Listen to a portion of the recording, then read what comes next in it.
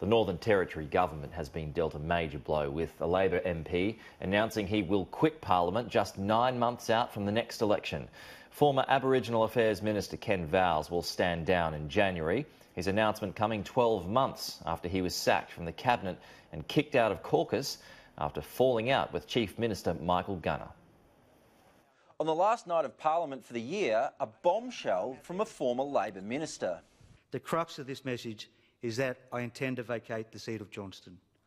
Ken Vowles announced he'd be quitting politics just a year after he was dumped from the Labor caucus. But I honestly feel I can no longer represent the constituents of Johnston in the way they deserve.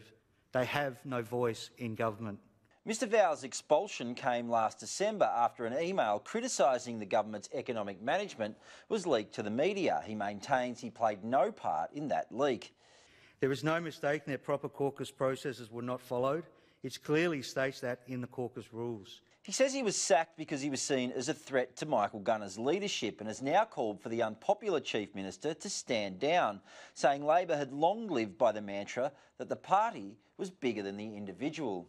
But that message has fallen by the wayside and replaced with disunity is death, which translates to, in territory politics, obey me or else.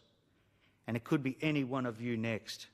Mr Vowles will stand down on January 31 next year, just soon enough to ensure the government is forced into a by-election ahead of the general election next August.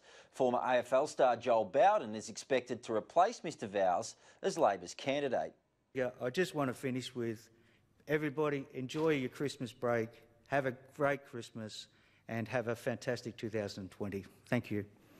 Labor's chances of a fantastic 2020, however, now seem to have been dealt a major blow. Matt Cunningham, Sky News, Darwin.